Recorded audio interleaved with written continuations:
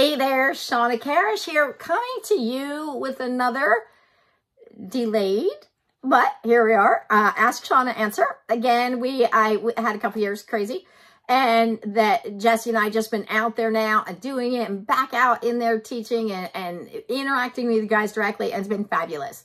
And now we've started our Shawna Karrasch Equine membership site, which is a place we've been kind of scattered over the past couple years. It's now where we are and where we're focused and we'd love you to come check it out and, and join the community. It's a place where we can talk and progress with the positive reinforcement regardless what your level is or where you are. So it is shawnakarrasch.com where you can come and elevate everything, compassion, performance, and connection. Okay, so this question comes from Kyla. And Kyla says, Hello, I've started clicker training with my horse. I love all of your videos on YouTube. Yay, thank you. They have been really helpful in my journey. My question is, I have a Canadian mare who is very lazy. She only puts in the least amount of effort into anything. Going forward has always been an issue, and I gave up doing dressage with her and have been trail riding for many years. The problem is I have always needed spurs and a whip to get her to go in the first place and into trot or canter. I have gotten rid of these tools and I'm only doing positive reinforcement with a clicker and high value treats. Good for you. Um, she still does not offer uh, much effort on the ground or under saddle. I get a bit more effort under saddle if there's a lot of green pasture as I use going from one spot to the next and she will offer more for uh, access to grazing for a minute or so. There is no effort on the ground. Um, I will, I try to slowly increase criteria, but at some point, usually I have to ask for trot or a jump or it is just no way. The treat is not worth the amount of effort. What can I do to improve her willingness to offer more? You know, this is a fabulous question because it's not just her, you know, okay, it's going forward. That's part of it. But, but a big part is the motivation period. I am, you know, I can only make assumptions on things. I assume that she probably has a background where it if she didn't do it, you know, she was made to do it. Like you said, she she needed, you know, spurs and whips to go forward. And probably she's learned to that that you know she's been desensitized to the cues essentially because if you need a spur and whip what it means is your cue isn't salient you know they don't go oh there's a little touch you know and i'm going to move forward so she's kind of learned to to not put that forward so as much as using cones with targets in them is a great way to go. But it's not just the cones and target that gets her to go forward. It's the timing of our bridge. You know, when do we click and what are we clicking on? So a lot of times even people use the cones and targets and what they do is they ask them, they will ask them to go to the target and then they click as they touch the target, which is stopping or slowing.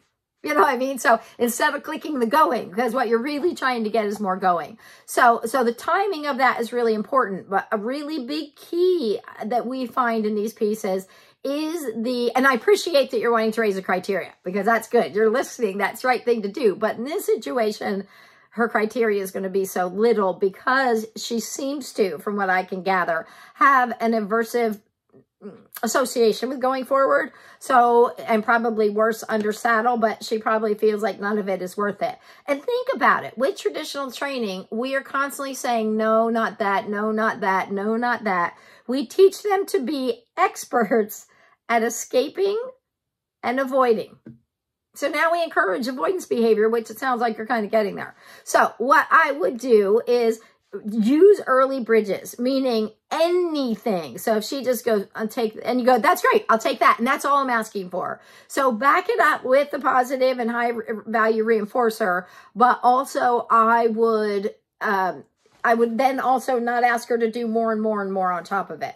So she probably has a long history of this is going to be 45 minutes of you trying to get me to go. I would for now. Now, there's times when we got to get them to go because of health reasons. You know, we've got to get them, you know, whatever, this or that. But if you can, I would just on the ground. And, and what's helpful is right now winter is coming up. So winter tends to be a time where they have more go than not because of the cool weather. So I would see if you couldn't get just a tiny little bit more. And, and, re, and it could start with liberty leading. So doing liberty leading where you're just walking together. And there's a podcast for that. There's video for that. You can go to our you know membership site and get more support with this. But it is um, just looking for uh, like a, an upward transition may just be walking slow to walking a little quicker. And that adjustment to just a little quicker, I'd say that's what I like. And so for her, I'd have a lot of her bridges, a lot of the clicks happening for, for movement, movement, movement, movement, movement, movement, movement. So she starts to feel like any movement is good. And I'm not talking big movement. I'm not talking durational movement. I'm just saying when she walks off with you, draw a lot of attention to that and don't keep repeating and asking for it. I think if you break it down to those little steps and say, that's great, and reinforce a ton for that little effort, I think you'll start to, you have to kind of build upon this. But right now she's saying it's not reinforcing for me to go forward, so I don't want to. And whether that's because it's resulted in corrections and her just finding the wrong answer, so she doesn't want to do it, or it was never good enough, so she didn't want to do it, or there was something maybe at one point in time, there was a physical thing that was uncomfortable for her. You know, like maybe she had, you know, an abscess, and now she associates the going forward not only with the unpleasantness of the abscess, but in addition that it wasn't good enough. So you always want to start with checking them physically first. Make sure there's not some arthritis or something going on that's causing her to not want to go. But a lot of times you'll also see these horses playing and running in the paddock. So you're like, well, you got that in you. So I think just, you always, oh, that's just a thing. Yeah, make sure that that part is, is worked out a bit. But now what you really want to do is be working on her energy and her attitude and her try. It's her try. It's a try and her decision to do the littlest thing. Another thing that can also help too is when you're doing the Liberty leading, do that really, really slow walk. And that's really hard for them. So a lot of times like, this is really hard to do that slow, slow walk. And then you take a big step. And a lot of times they go, oh, thank goodness. And they have a big reachy step. I click that. And I say, that's it. So whatever upward transition you get, even at the minimal, I would continue to draw attention to that, attention to that, attention to that, attention to that. So she starts thinking moving works. And, and is it, it's very much a, um, you know, you're using the operant conditioning to, to say, I, I want movement. I want you to try moving. I want you to try moving. But pretty soon there's going to be an association mind where she's like, I kind of like moving.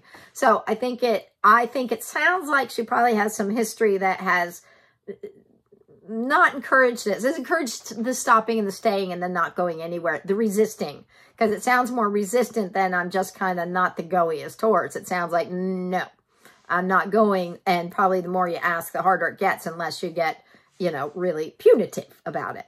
So I hope that that helps you, Kyla. And, and again, if you want to learn more, um, I know that the, we, I have the podcast, Equine Clicker 101, it does have the, um, has the, uh, it has one that is about getting your horse to go forward under saddle or going, yeah, I think it is going forward under saddle. It also has a reverse round pen, fabulous tool.